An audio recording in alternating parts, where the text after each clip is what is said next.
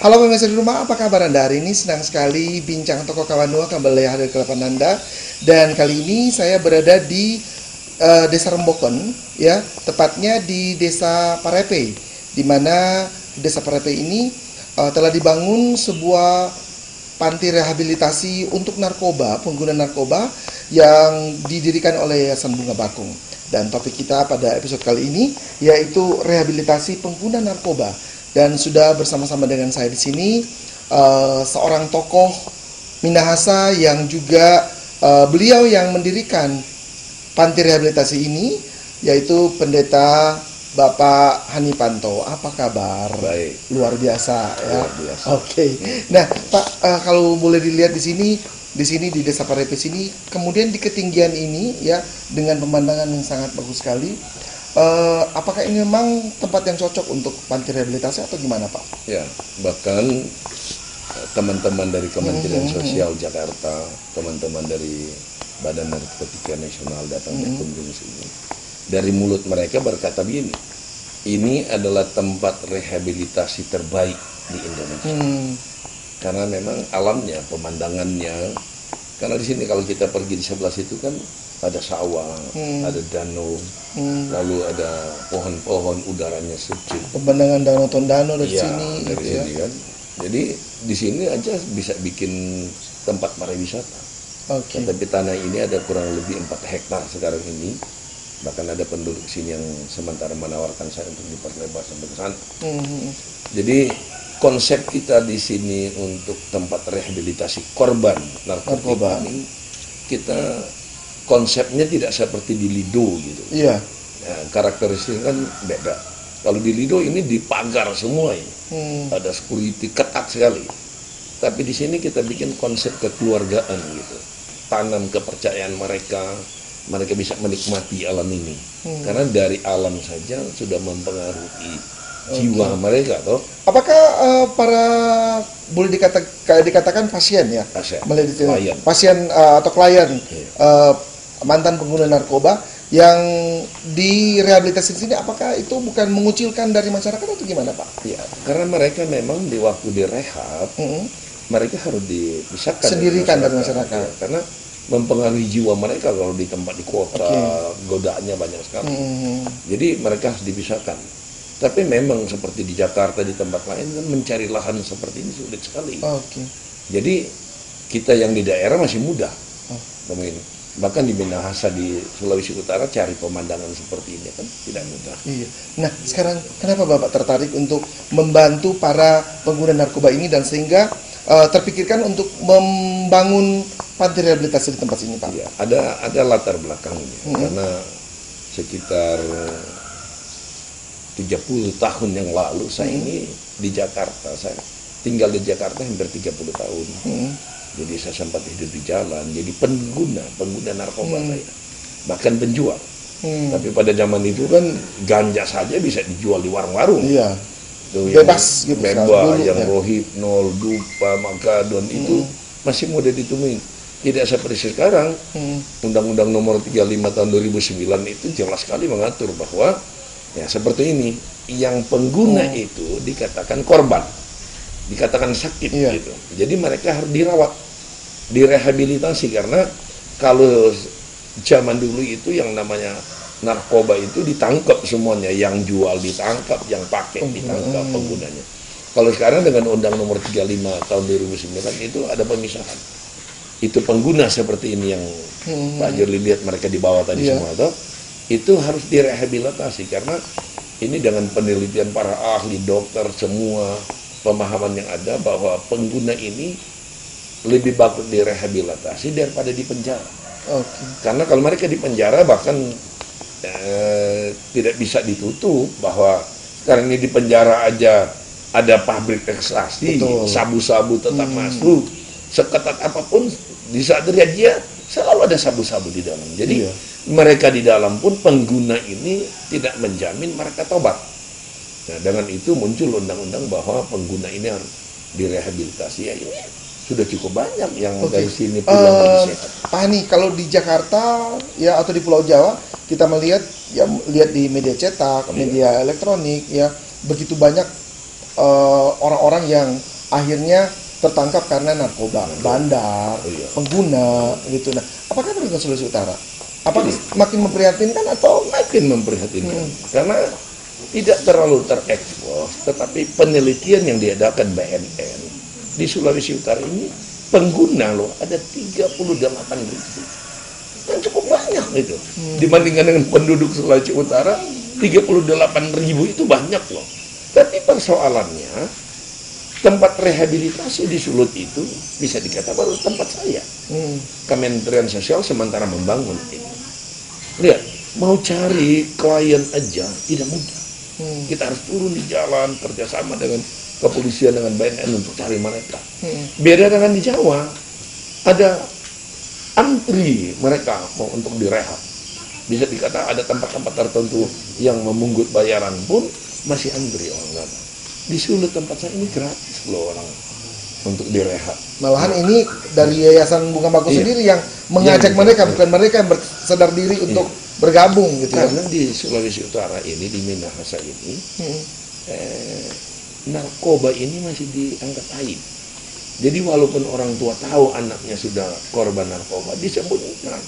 Hmm. Biasanya mereka cari tempat kita kalau anak-anaknya mulai reaksinya negatif, barang mulai habis dijual, hmm. sudah mengganggu sekali keamanan mereka, baru, baru pertolongan. Nah itu pun selama ini mereka bawa ke Madoka di Makassar, mereka bawa di Lido di BNN punya karena dianggap oh keluarga bilang oh anaknya suaminya istrinya hmm. lagi keluar kota. Nah kalau lagi rehat narkoba.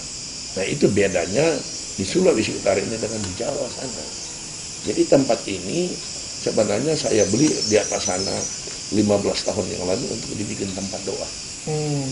nah, tempat doa lalu dia berkembang saya beli ini. Lalu Tuhan menaruh itu ke saya untuk tempat rehabilitasi ini saya percaya karena dulunya saya pemakai pengguna saya tahu persis pengguna narkoba kalau tidak direhabilitasi ini bukan hanya satu generasi yang rusak, dia bergenerasi. Karena di, di Indonesia saja setiap hari 40 sampai 50 orang meninggal karena narkoba. Jadi betapa bahaya aja makanya Presiden Joko Widodo ini keras sekali bahkan dari ada berapa banyak yang dia tembak mati kan? Okay. nah ini ini komitmen daripada pemerintah sekarang yang luar biasa oke okay, masih kita akan bahas lagi pak ya. Dan pemirsa rumah seru sekali pembahasan kami tentang narkoba. Memang kalau berbicara tentang narkoba tidak ada matinya. Karena memang di mana-mana narkoba masih menjadi momok yang menakutkan. Jangan ke mana-mana kami masih membahas topik menarik ini. Tetap di Antv siaran Manado menghadapi orang narkoba jangan lagi melihat dia agama apa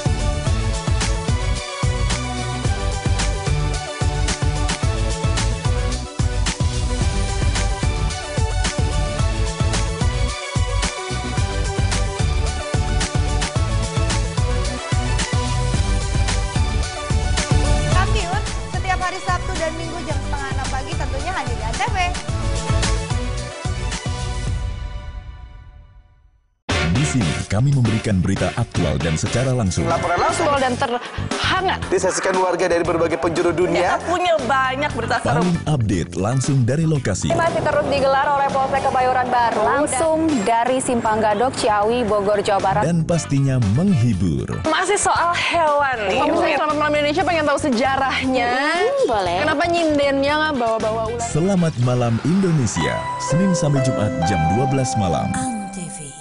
Acara paling seru favorit pemirsa. Ketemu lagi The New Bulaga Indonesia. Seru-seruan di pagi hari. Dapat hadiah keren. Dapat jodoh keren. Ya, bosnya patah The New It Bulaga Indonesia, Senin sampai Jumat jam 8 pagi. Antv. Ya kembali lagi dan topik menarik yaitu rehabilitasi pengguna narkoba yang didirikan oleh pendeta Hani Panto di Desa Parepe di Rembokan sini ya dengan uh, view yang sangat bagus sekali di ketinggian Desa Parepe. Oke, kalau boleh tahu uh, Pak Pendeta ada berapa klien yang lagi di rehab sekarang ini? Iya, di sini sekarang ini kan kita ada tahapan per enam bulan. Mm -hmm. Jadi Januari sampai Juli. Mm -hmm. Ini kemarin kan sudah pulang yang rombongan yang lain, okay. yang lima orang. Nah ini dia mulai tahap dua ini tahun ini, Juli, Agustus, September sudah tiga bulan yang lain ini. Hmm. Jadi sekarang ini aja ada sampai Desember ini iya, mereka. Desember. Ini aja sudah ada sekitar 40 orang. Okay. Nanti dia bertambah tuh. tuh. Sampai Desember itu bertambah. Hmm. Jadi bisa saja ada 80, bisa saja ada 100. Hmm. Dan rata-rata di sini penggunanya herannya para remaja. Hmm. Dan usia-usia berapa kisaran? Ini aja bisa aja lihat. Belasan-belasan gitu ya? tahun, 15 tahun, 15 tahun, 16 tahun. Saya bisa membayangkan tuh kalau anak-anak kita itu. Hmm. Jadi saya lihat dengan kacamata itu. Kita bisa bayangkan dengan anak kita yang 12 tahun, 13 tahun sudah kena narkoba ini rusak masa depan. Hmm. Kan lihat ada yang jalan udah kayak robot, kayak zombie gitu tuh. Karena daya rusaknya sudah luar biasa. Hmm. Mereka udah kecampur, ada yang pakai free X, komik, eh, lem ibon yang sudah lebih besar mulai ada uang bisa pakai ya, pakai indeks bisa, bisa pakai sabu-sabu. Jadi apa aja. Lalu ada berapa eh, anak-anak eh, gadis itu mulai masuk ke tahap lebih besar sudah sudah mulai tersaksi seks terjadi di sana. So, ada dua tadi di Manado, sementara kita konseling sudah karena untuk kebutuhan itu mulai kerja di spa. Nah ini hmm. spa plus karena anak-anak seperti itu kapan belajar mijitnya? Betul. Nah, dari situ kita mulai tahu wah ini saya, saya tahu. Nanti kalian karena kebutuhan eh, narkotika yang yang tidak bisa lagi dibendung, nomor satu dalam hidup kalian kan tinggal narkoba ini. Jadi jadi jangankan barang, diri kalian jadi kalian jual hmm. untuk mendapatkan itu. Lalu kalau yang tidur dengan kalian, jangan pernah berpikir, oh nanti 100 orang, 100 laki-laki tidur sama kalian baru kena HIV. Satu orang aja yang ada virus itu tidur, Okay. Nah ini sangat berbahaya Betul, iya. untuk kesehatan untuk masyarakat. Belum saya sering bilang, nah, kalau banyak itu uang pajak kita yang ini amnesti pajak ini, pun kan pajak lari ke mereka. Karena pemerintah yang yang bayar obat mereka yang tiap hari mereka minum. Bahkan saya sering guyon dengan teman-teman di uh. di penanganan narkoba ini kalau kita lagi kumpul di Jakarta, mestinya keluar undang-undang kalau contoh ini rehab kan enam bulan. Hmm. Tiba-tiba belum empat lima bulan mereka di luar udah pakai pagi masuk lagi. Mestinya kalau tiga kali mereka balik begitu suntik mati aja. sampai sampai begitu gitu. Karena kan gini, tangani orang normal aja repot kalau banyak. Apalagi seperti ini. Okay. kan tidak normal mereka. Betul. Iya uh, Pak Hani kalau boleh tahu dengan cara apa sih Pak Hani dan juga tim dari Yayasan Bunga Bakung uh, apa menemukan uh, orang-orang pengguna narkoba ini? Ya, apakah pergi ke tempat-tempat apa orang-orang uh, pengguna narkoba atau memang kesadaran dari mereka sendiri orang tua sehingga menghubungi Yayasan Bunga Bakung? Kecil sekali, kecil sekali untuk dihubungi oleh orang tua dan hmm. keluarga. Hmm. Bisa dikata 90% ini ditangkap. Okay. Jadi ada malam hari turun tim kerjasama dengan hmm. dengan BNN dengan kepolisian turun cari. Bahkan hmm. kita ada ormas Laskar Mau Indonesia, ada orsap kita yang namanya BAN, Badan Anti Narkoba. Kita tim ada tim khusus yang dikatakan Pasus, mereka juga turun kayak di pasar-pasar, di terminal-terminal, di hmm. tempat-tempat hmm. kos, di belakang-belakang mall, di pinggir Mereka suka pakai itu. Nah, itu ditangkap, bawa ke sini. Jadi jangan pernah berpikir bahwa buat tempat begini dia tang sendiri ya nggak akan jadi. Oke. Okay. Nah, program-program apa yang diberikan oleh apa ya Bunga Bakung ke klien kepada mereka ini ada ada kayak olahraga bercocok tanam secara medis hmm. eh, ibadah ya itu petisi itu disusun oleh pemerintah juga jadi okay.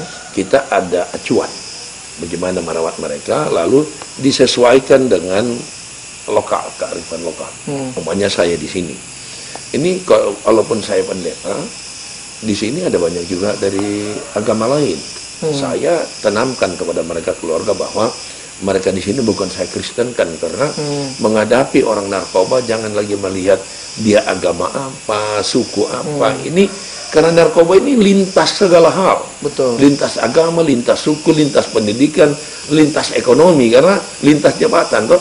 Dari tukang parkir sampai, ke, sampai kepada ketua eh, MK kena narkoba. Toh ya polisi Dari yang kecil untuk sampai berantas itu ada oknum-oknum polisi yang terlibat. Tentara yang mesti membantu ini tentu dibantu, tapi faktanya ada oknum-oknum tentara yang terlibat. Hakim ada oknum dan jaksa ada yang pemakai, bahkan terlibat untuk jaringan narkoba ini. Jadi sulit diberantas karena apa? Eh, Orang-orang yang mestinya care, peduli untuk untuk memberantas ini, mereka terlibat di dalam. Kenapa? Karena narkoba ini terlepas pemakainya memberikan daya hayal yang luar biasa, jadi mereka ketagihan. Tapi narkoba menawarkan uang yang banyak. Makanya waktu Freddy Budiman waktu di mau dihukum mati lagi dia bikin tes- testimoni dengan dengan eh, di, di TV kan aneh dia bilang ada majen ada bintang dua ada rekatan dari militer terlibat ada polisi ada BNN heboh. Membackup-nya membackup Hmm. itu. Lalu orang begini tim investigasi turun beriksa. Ditemukan ABC tapi stigma masyarakat lebih percaya itu betul. Karena apa? Eh, kering terlihat kan ada polisi oknumnya terlibat ada tentara oknumnya terlibat. Jadi mau salahkan juga pendapat masyarakat juga mau diubah sulit.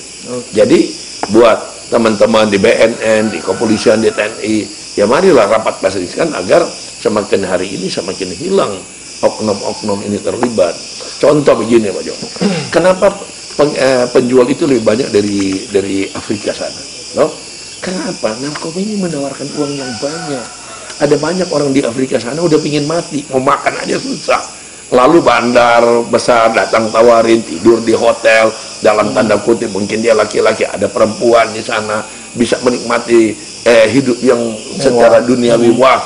Yang ada banyak orang di sana tiga bulan pun langsung tembak mati mau karena sekarang aja tembak dia udah bosan hidup lalu bandar narkoba menawarkan mereka menjadi pembawa narkoba lintas ini iya jadi mereka udah tahu kalau ketangkap bisa di, di juga di penjara dia makan jadi tidak ada habisnya jadi Makan gratis gitu. Makan gratis. Di Hotel Prodeo. iya. di luar mau makan aja susah Mending masuk di situ Iya. ya, karena makan gratis. Iya. Keluar dari situ gemuk bukan Gemuk, kurus. iya. ini, ini ini persoalan Iya, oke, Pak. Apakah betul kalau orang sakau itu eh, direhabilitasi harus dimasukkan ke dalam bak air? ya gini ini memang ada banyak pemahaman orang begini. Bagaimana hadapi orang yang sakau? Sebenarnya eh, teori alamnya begini. Dia mau sakau bawa aja ke kamar mandi siram Oh, siram. iya. Bukan di bukan di apa ya? Ini Bukan direndam. aja kalau mau direndam kan kalau ada bak di situ. Tapi siram. Hilang itu. Nanti kalau dia melegi mata ini siram lagi sampai dia masa kontraksi itu mungkin seminggu dua minggu dia mulai hilang Oke, nanti kita akan bahas lagi Pak ya. Seru sekali pembahasan kami ya dan pemirsa rumah jangan ke mana-mana. Topik menarik ini masih akan kami bahas setelah yang satu ini. tidak cukup apa yang dikasihkan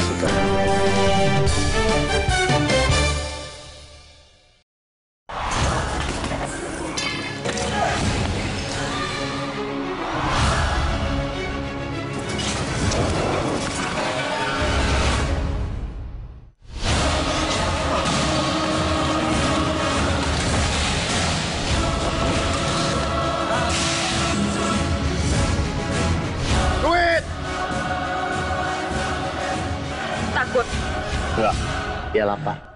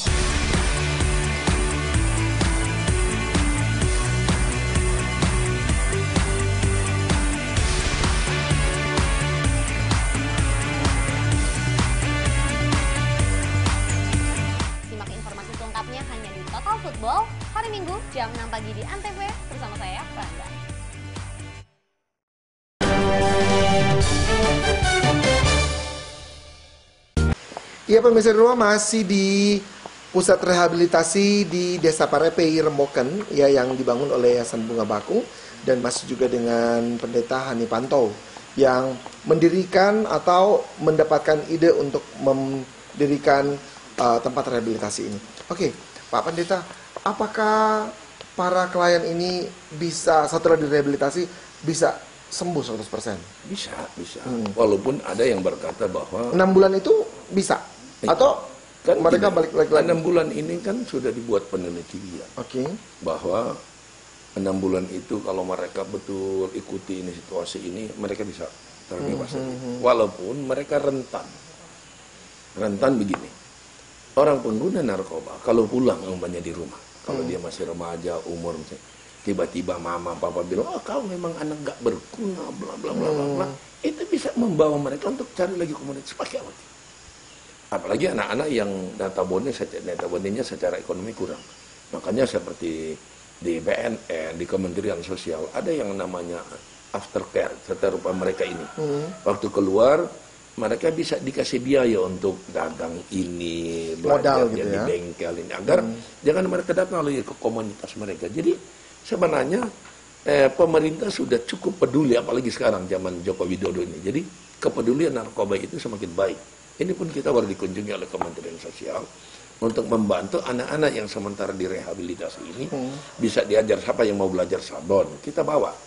Yang ahli okay. sabon ajar mereka. Yang mau ikut menjahit kita beli mesin jahitnya. Belajar masak belajar bertani. Jadi saya melihat begini bahwa pemerintah semakin peduli walaupun walaupun begini tidak cukup apa yang dikasih. Karena gini ini narkoba ini kan adalah salah satu kejahatan eh, luar biasa di Indonesia selain terorisme dan eh, korupsi. Mm -hmm. Nah sekarang ini justru soal narkoba ada di ranking atas nih. Iya. Toh? Eh, tetapi faktanya juga kalau bicara seluruh kebutuhan ini bisa dihandle pemerintah juga tidak. Itu pemerintah juga tahu. Makanya pemerintah selalu berkata gini, ini bantuan. Hmm. Ya, ya namanya bantuan kan tetapi dibandingkan dengan tahun-tahun yang lalu, perhatian pemerintah semakin baik itu yang saya bilang. Ini pun ada dari Kementerian Sosial datang untuk menawarkan program anak-anak yang sementara di sini akan dilatih dari sini. Untuk di saat mereka selesai rehab bisa berubah gitu. Nah, tetapi saya di sini yang saya bilang kearifan lokal selain itu metode TC yang kita pakai, namanya contoh di sini saya agak lebih penekanannya kepada nilai rohani. Hmm. Apa dia Kristen, apa dia Muslim. Karena saya memahami begini, ada banyak orang di rehab yang lain, medis, dan tapi rohaninya tidak dibangun. Betul. Sedangkan kalau orang itu beriman, apa dia Buddha, Muslim, Kristen, di saat dia hadapi tantangan, dia kuat gitu. Dia tahu ini saya tidak boleh jatuh lagi. Dia tahu ah, dia ini harus bergantung kepada Tuhan. Dia tahu ini bagian daripada imannya sementara diuji. Itu fondasi yang fondasi yang paling yang... kuat. Toh? Hmm. Karena fakta dari dari 10 yang keluar narkoba, empat bisa balik lagi. Hmm. Jadi kan dia bolak-balik nanti direhab, pemerintah membiayai segala macam. Itu yang saya bilang.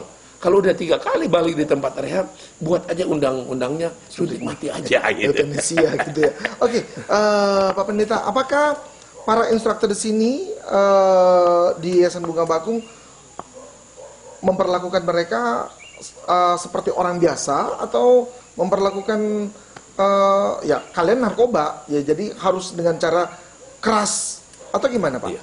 Di sini pun kalau kita bandingkan lupa ada yang di Makassar, hmm. ada yang di Bogor, ada tempat semacam kamar yang dihukum kalau mereka melakukan kesalahan okay. Tapi saya berusaha hindari itu. Ini kan tempat terbuka, ada kadang hmm. ada yang lari kita cari bawa lagi. Capek sih sebenarnya. Hmm. So, tapi kalau lahan ini mau di mau di mau dibikin pagar berapa banyak biaya? Betul. Tuh, kalau bilang cuma lahan ini aja berapa yang banyak satu hektar atau 5.000 meter aja kita bikin pusatnya di pagar boleh. Tetapi biaya kan cukup besar. Hmm. Karena pemerintah tidak ada bantuan untuk hal itu. Pemerintah itu hanya membantu banyak uang makan. Ya. Uang kasur. Itu yang dibantu. Tapi untuk bangunan seperti ini, ini kita bangun sendiri. Ini. Toh listrik ini saya kasih masuk listrik ini dari bawah ke sini minta maaf bukan mau jebut, sebut jumlahnya ini 1,6 miliar. Hmm. karena ini kan gardu sendiri. Hmm. kalau enggak listriknya tidak sampai sini. Banyak contoh baru kemarin iya, saya bikin jalannya ini kan ini hampir 200 meter.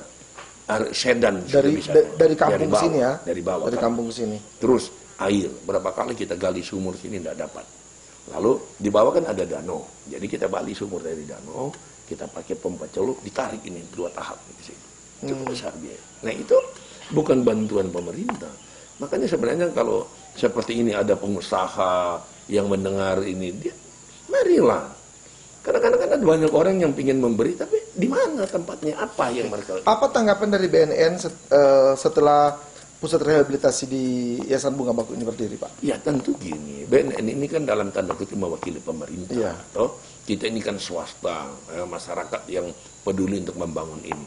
Tentu hmm. mereka sangat merespon luar biasa, Kementerian Sosial, Pak, eh, banyak sekali membantu. Kami sangat menghargai ini, walaupun yang namanya bantuan ya kita yang harus panggilan dalam hidup kita soal-soal begini ya harus berkorban hmm. itu yang saya bilang kasih naik listrik. Tidak ada yeah. bantuan pemerintah.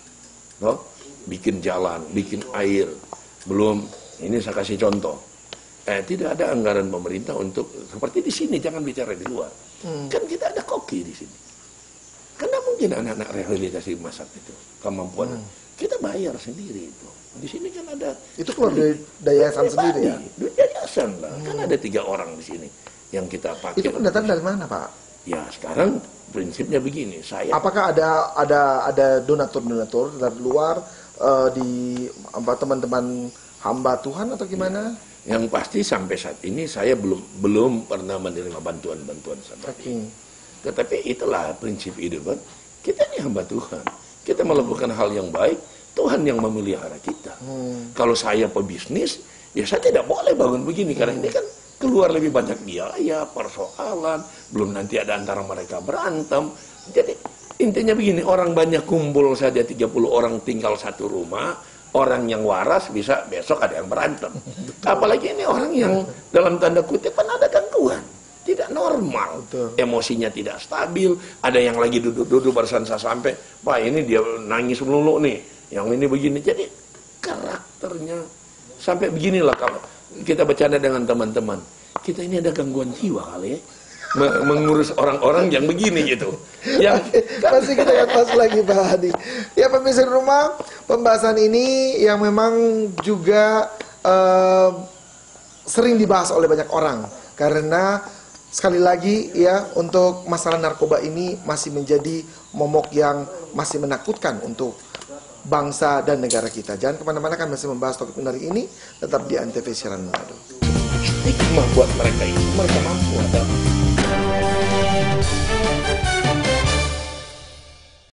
sini kami memberikan berita aktual dan secara langsung. Laporan langsung dan terhangat. Disaksikan warga dari berbagai penjuru dunia. Kita punya banyak berita seru. Paling update langsung dari lokasi. Masih terus digelar oleh Polsek Kebayoran Baru. Langsung dari Simpang Gadok, Ciawi, Bogor, Jawa Barat. Dan pastinya menghibur. Masih soal hewan nih. Pemirsa Selamat Malam Indonesia pengen tahu sejarahnya. Hmm, boleh. Kenapa nyindennya nggak bawa-bawa ular? Selamat Malam Indonesia. Senin sampai Jumat jam 12 malam.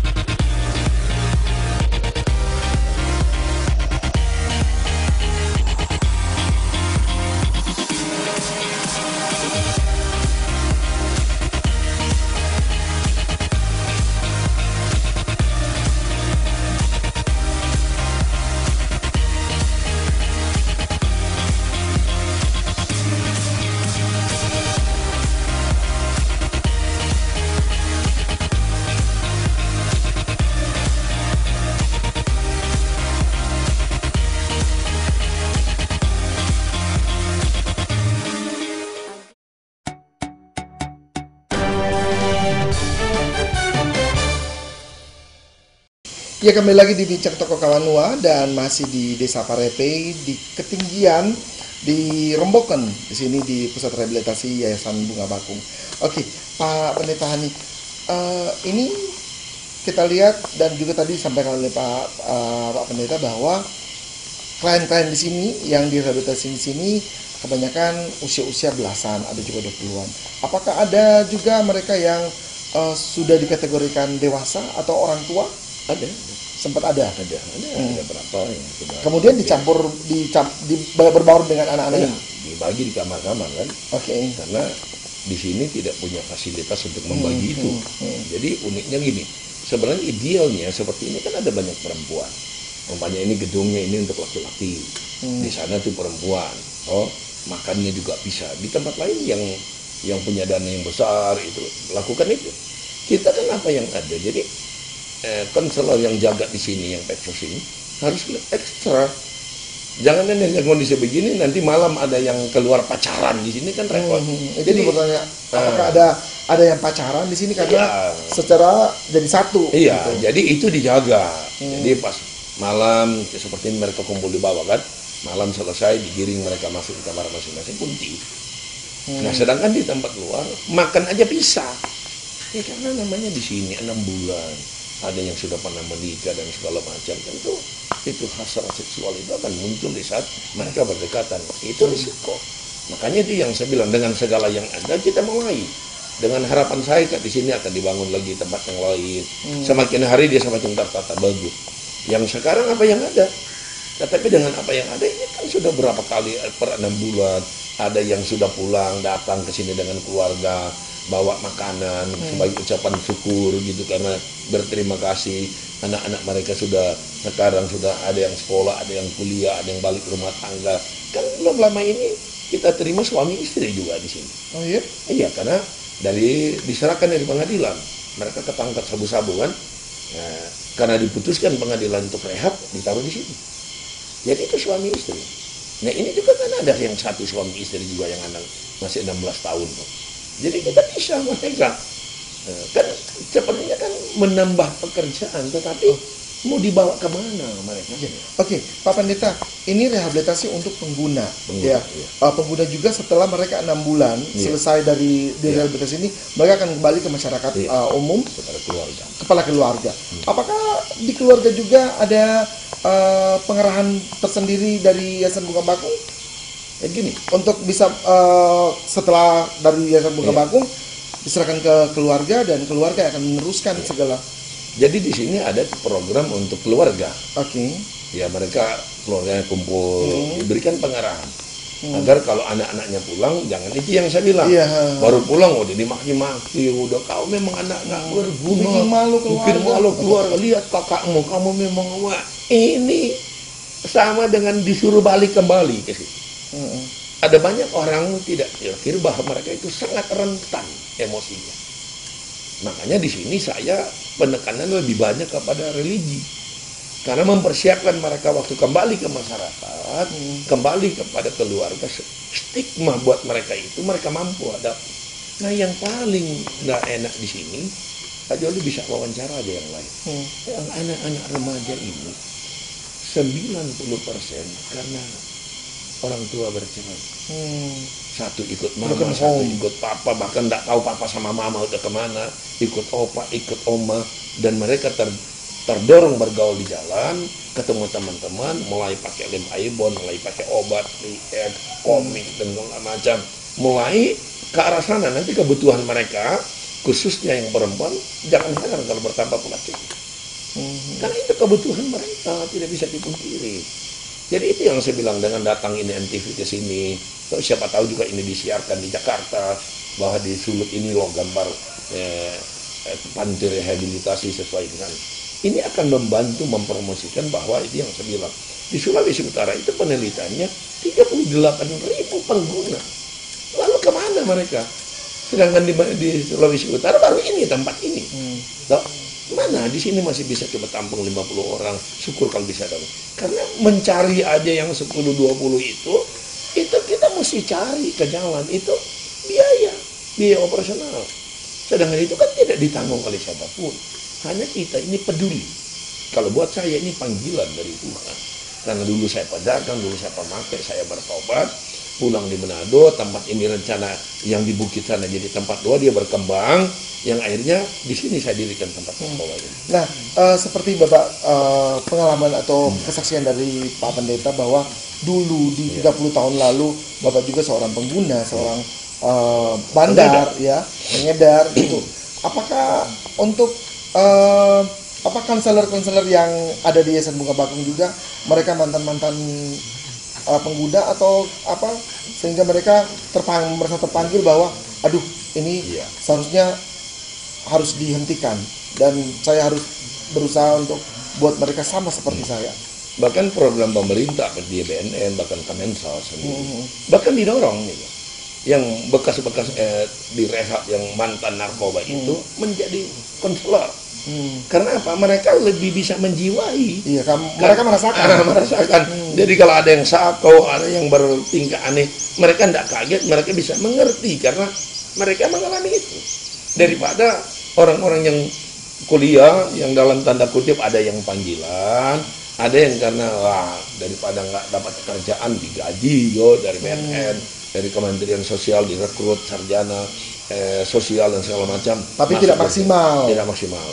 Ya kalau buat saya dia harus ada perpaduan lebih baik. Betul. Tetapi justru juga dari mereka menekankan untuk tempat kita itu pun atau di mana pun yang bekas pemakai lalu sadar bertobat jadi konselor itu lebih bagus. Hmm, hmm. Jadi di sini ada seperti. Oke. Okay. Nah, Pak dari Yayasan Bunga Bakung sendiri, apakah ada juga program tersendiri untuk bisa mengkampanyekan atau uh, datang ke sekolah-sekolah mengkampanyekan tentang bahaya narkoba atau gimana Pak? Oh, ini sampai sekarang berjalan. Okay.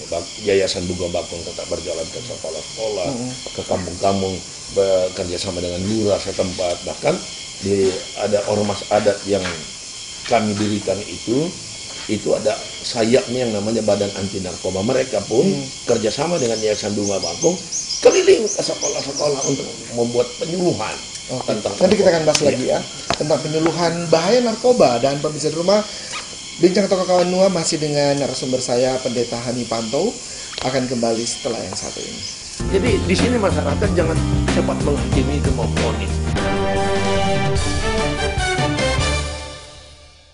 Acara paling seru favorit pemirsa. Ketemu lagi di Juit Bulaga Indonesia. Seru-seruan di pagi hari. Dapat hadiah keren. Dapat jodoh keren. Ya, bosnya Pak The New It Bulaga Indonesia, Senin sampai Jumat jam 8 pagi. Antv. Pesen juri sih cuma satu. Mama, ya. jangan sampai resep keluarganya dihancurkan oleh anak. Mama jadi harus konsentrasi. Potong apa? Jangan, jangan ngajak ngomong dulu apa. Api unggun keluar cepetan. Biar nggak tambah hancur. Ya Allah, tobat tujuh turunan. Anak setan banyak apa? Dapur Mama Seru, Sabtu dan Minggu jam 11 siang. Antv.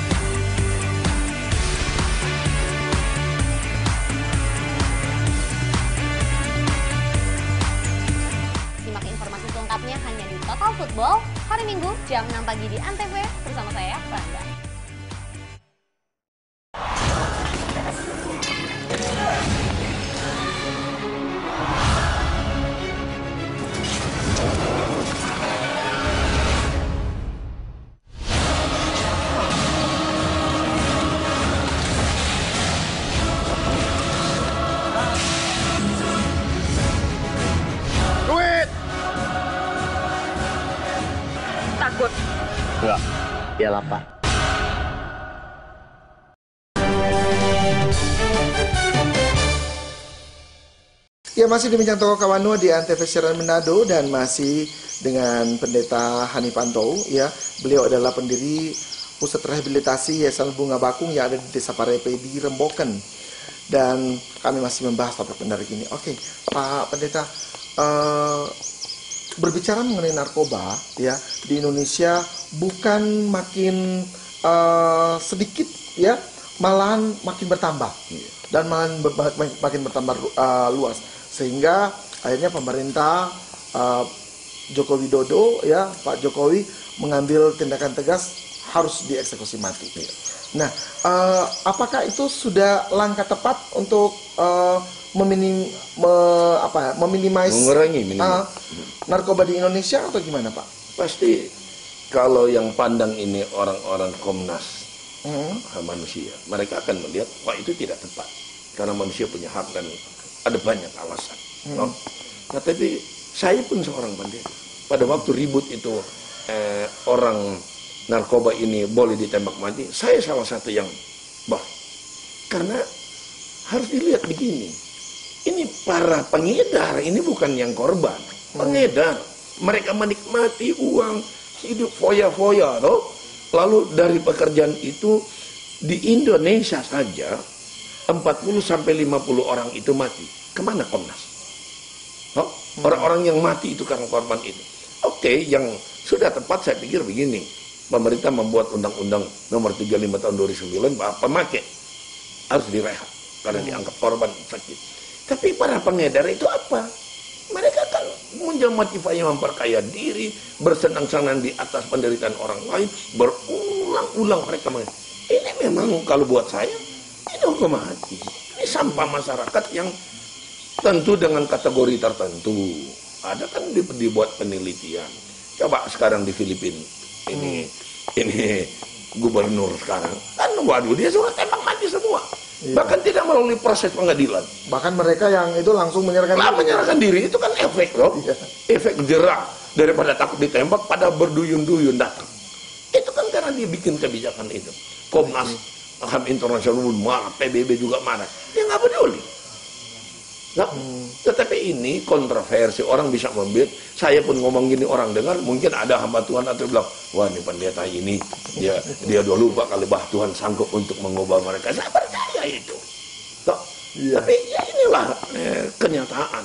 Karena apa? Kita yang ada di dalam sini yang setiap hari hadapi anak-anak 13 tahun 12 tahun coba anak mereka yang kena itu anak yang mereka kasih anak tunggal lalu kena narkoba jadi kayak bego gitu hmm. nggak sembuh itu coba bisa bayangkan mungkin kalau ditanya ke pada keluarga yang mengalami ini itu pengedar yang sudah berulang tembak mati nggak mungkin dia bilang nanti aku yang tembak itu asal jangan dihukum oke okay. dengan kasus Freddy uh, Budiman yang sudah dieksekusi hmm. mati beberapa waktu yang lalu apakah sekarang sudah ada tanda-tanda uh, narkoba di Indonesia agak sedikit berkurang atau gimana Pak? Lihat fenomenanya begini. Ada kesan sudah ada hukuman buat ini, tetapi kok ada ketangkap sana ketangkap ini harus dilihat dari sisi yang lain. Karena petugas kita semakin profesional. Okay. Kalau dulu kan tidak dicari, jadi semakin banyak tidak terungkap ke televisi kalau macam. Tapi sekarang media kan mengambil peran yang luar biasa. Iya. Polisi gerbek, media ngambil. Jadi dalam tanda kutip ada oknum yang pikir bermain juga eh, semakin hari semakin eh, celahnya ketutup dengan media yang luar biasa. Tetapi kok ini habis hukum mati di sana ketangkap misalnya karena pemerintah, BNN, kepolisian semakin profesional, semakin ada tanggung jawab, bergerak mereka siang malam untuk menangkap bandar-bandar mm -hmm. Maka terlihat seolah-olah orang melihat bahwa nggak berkurang buktinya habis hukum mati di sana ketangkap. Jangan lihat dari sisi itu, siap lihat dari sisi lain hmm. bahwa mesti hargai BNN dan polisi yang bekerja siang malam. Kalau nanti ada dari polisi main narkoba pakai atau ketangkap di soko segala macam itu oknum, oknum institusi polisi BNN itu tidak boleh dirusak gitu. Karena mereka bekerja luar biasa. Jadi di sini masyarakat jangan cepat menghakimi itu memfonis. Ya namanya manusia loh. Iya, jangan pihak polisi. Ketua Mahkamah Konstitusi aja loh itu bisa kena gitu ditangkap lagi narkoba. Loh eh ada pendeta ketangkap narkoba. Eh ada pak haji ketangkap narkoba. Jadi narkoba ini sudah lintas. Betul. lintas semua. Makanya harus waspada. Ada eh, reserse cerita ke saya dia dari muslim. Wah ini saya sampai ada hafal beberapa lagu di gereja. Kenapa? Kita buntuti pengedar. Orang ini penyanyi di gereja. Hmm. Jadi dari sini dia nyanyi gereja, Intel ini ikut juga masuk gereja, dengar dipuntutin, habis itu dia dagang ini. Jadi dia dagang eh, narkoba, tapi dia pelayan di gereja gitu. Hmm. Jadi ini memang fenomenanya seperti itu. Bertopeng sekali. Bertopeng. Jadi, iya. Oke, okay. Pak. Uh, kalau kita lihat ya di media cetak dan uh, media elektronik, kebanyakan mereka yang pengguna narkoba hmm. ditangkap akhirnya dipenjarakan. Iya. Nah, ini gimana ini kalau uh, bapak yang uh, apa sebagai ketua yayasan bunga bakung? Ya, ini memprihatinkan. Undang-undang jelas pengguna itu direhabilitasi. Walaupun begini, kalau ditangkap memang harus melewati persidangan. Hmm. Tetapi kan itu harus diputuskan hakim untuk direhabilitasi. No? Tetapi tidak bisa dipungkiri ada oknum-oknum bermain di sini. Kalau Pak Joli yang dia anggap hmm. oh, pengusaha, ya dia yang dalam tanda kutip ada oknum yang membuat jadi ATM dulu. Terus baru sidang ini. Tetapi kalau dalam tanda kutip masyarakat ekonomi lemah yang ketangkap, yang dalam tanda kutip ya serahkan aja ke yayasan ah, gitu. Ini memang tidak bisa dipungkiri. Makanya saya bilang harus bersatu padu. Polisinya, BNN-nya, pekerja sosialnya semua harus menemukan kesadaran bahwa jangan bermain dengan narkoba untuk mengambil keuntungan misalnya. Oke, masih kita bahas lagi ya pemirsa di rumah jangan ke mana-mana kami akan kembali membahas topik menarik ini setelah pesan-pesan berikut ini. Ya, kalau sesuatu itu harus mulai dari kita yang memberi.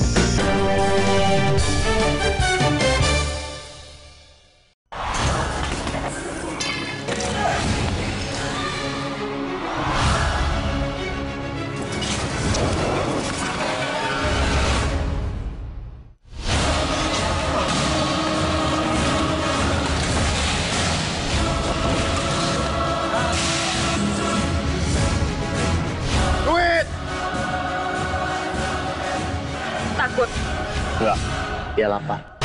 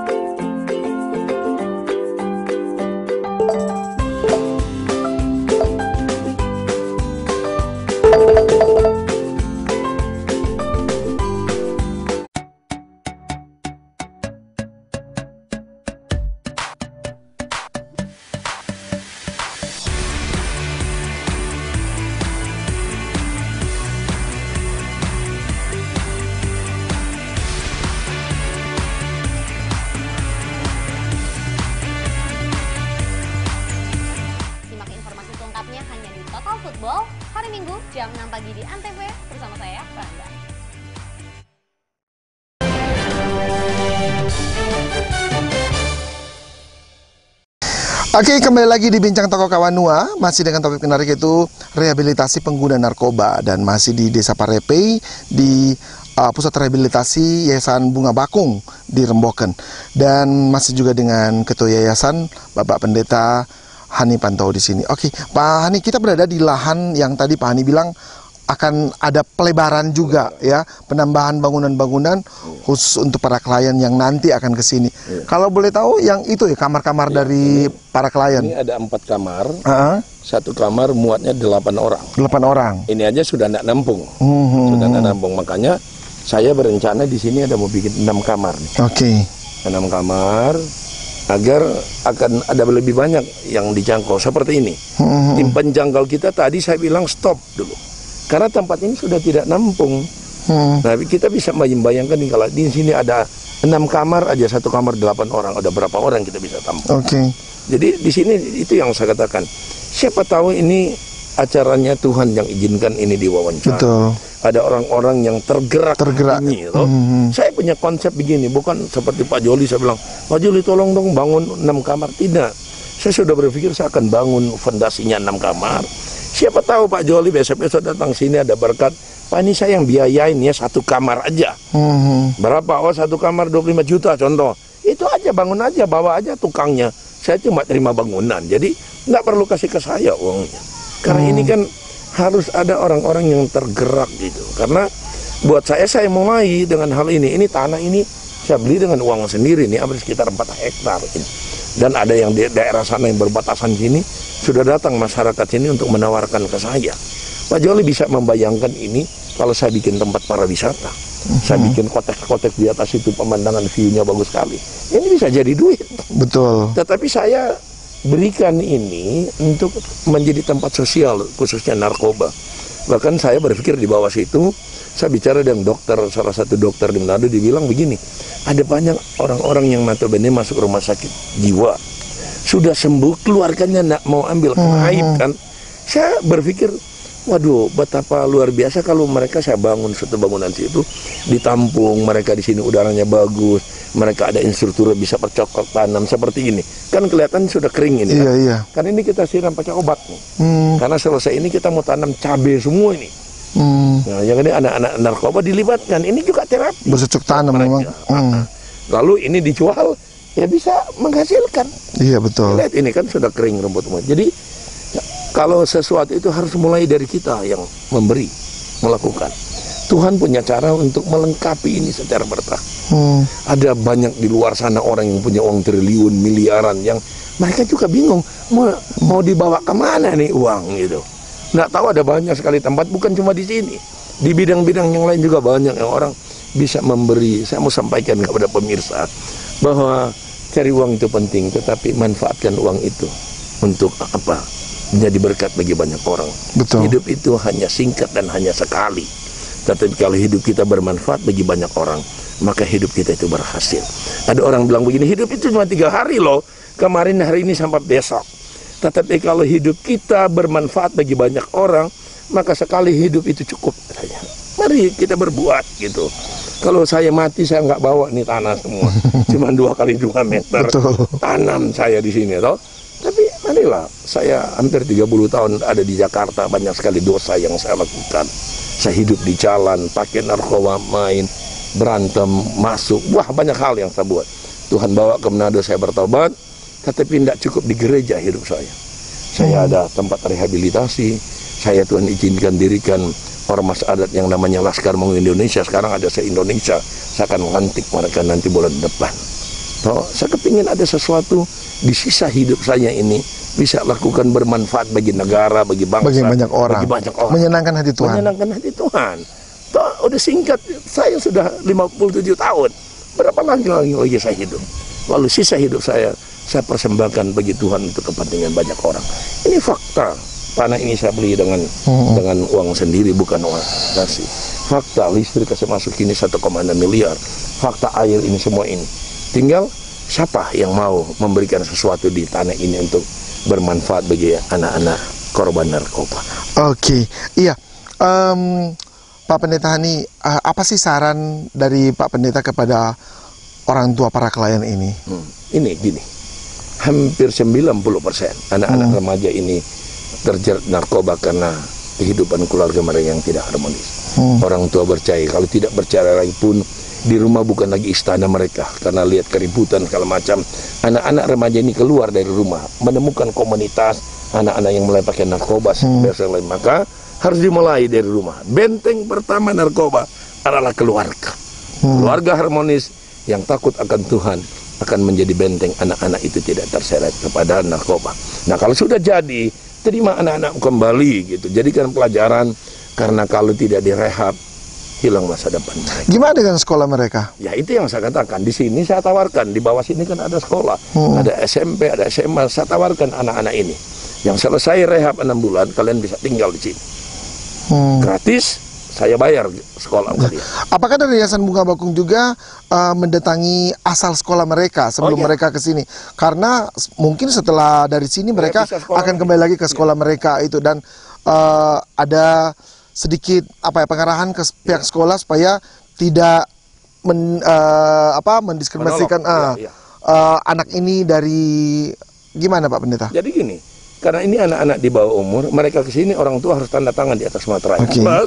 kita datang sekolah mereka berikan surat bahwa anak ini ini akan direhab. Harapan kita setelah mereka selesai mereka bisa kembali bersekolah. Hmm. Karena takut stigma sekolah tidak terima. Nah buat saya saya sampaikan selalu, kalau kalian mau tinggal di sini, gratis, saya kasih sekolah. Kalian di bawah sini ada sekolah. Hmm. Tapi kalau mau di Manado, di rumah saya kalau Pak Joli pergi, selalu ada sekitar 30 hampir 40 orang yang tinggal. Mantan anak jalanan, dari narkoba, itu yang saya bilang. Okay. Hidup saya itu, ini bukan karena saya pegawai negeri lalu ditugaskan tangani narkoba ini panggilan hidup. Betul. Bukan saya bilang oh, orang BNN, Komenso tangani. Oh banyak mereka punya hati, kok luar biasa gitu. Tetapi harus digarisbawahi, kita ini masyarakat. Ini kita kelola, dibantu oleh pemerintah. Kita bersyukur dengan pemerintahan Jokowi ini. Teman-teman dari BNN, dari Kemensos, luar biasa mereka. Memberi yang terbaik. Tetapi di situ yang saya bilang, kita memberikan hati hidup kita buat ini. Mulai dengan biaya sendiri itu yang saya bilang Pak Jo. Uh -huh. Ini yang jaga tiga orang dari dari uh. mana dari masak segala macam kita keluar uang itu. Oke. Okay. Tapi it's okay Tuhan selalu memberkati kita. Oke, okay, Pak Pendeta, tanpa terasa kita masuk di apa uh, segmen terakhir harapan kepada uh, masyarakat ya. tentang adanya pusat rehabilitasi Yayasan Bakung ini? Ya, yang pertama jangan kalian terlibat dengan narkoba. Mm -hmm. Karena untuk keluar dari sana sangat sulit. Bahkan bahasa saya bisa dikata kalau kanker itu sudah stadium 3 hanya mujizat Tuhan kalian bisa selamat dari narkoba. Hmm. Nah, mendengar ini mari jaga keluarga kita dari narkoba. Plus kalau ada para donatur yang ingin terlibat untuk membantu eh, pembangunan atau ini saya bilang ini, mm-hmm. saya ingin membuat jalan dari paving, tapi kan harus bergilir. Iya, ada step ada, by stepnya iya, ya. Ada banyak sesuatu yang bisa dilakukan di sini. Karena proses-prosesnya iya, juga. Itu iya. harapan kita. Oke, okay. terima kasih sekali Pak Pendeta sudah bersama-sama dengan saya di sini, ya uh, membahas tentang pusat rehabilitasi Yayasan Bunga Bakung yang ada di Desa Parepe, uh, Kecamatan Rembokan sini dan ini adalah tempat yang memang uh, sangat strategis ya dan juga dengan uh, lingkungan yang sangat asri ya dengan pemandangan yang sangat bagus sehingga orang kalau datang ke sini kayaknya langsung apa ya kalau misalnya mereka yang para pengguna narkoba langsung ah jadi damai. Tenang di sini ya. Oke terima kasih sekali Pak Pendeta. Dan untuk anda pemirsa di rumah yang berkeinginan atau berkerelaan untuk membantu Yayasan Bunga Bakung karena masih banyak lagi uh, yang harus mereka benahi di pusat rehabilitasi bunga bakung di uh, Desa Parepe Kecamatan Rembukan ini. Silakan bisa langsung datang ke Yayasan Bunga Bakung ya ada di Jalan Sehat juga atau bisa langsung datang ke pusat rehabilitasi Yayasan Bunga Bakung di Desa Parepe Kecamatan Rembokan Kabupaten Minahasa. Ya, pemirsa di rumah, demikianlah perbincangan kami untuk edisi kali ini yang membahas tentang rehabilitasi pengguna narkoba di Yayasan Bunga Bakung, Desa Parepe, Kecamatan Remboken, Kabupaten Minahasa bersama dengan Ketua Yayasan Pendeta Bapak Hani Pantau. Dan nantikan terus bincang toko kawan Nua selama satu jam dari 6, jam 6.30 sampai dengan jam 7.30 bersama saya Julengka. Tentu saja di Antv siaran Manado. Sampai jumpa.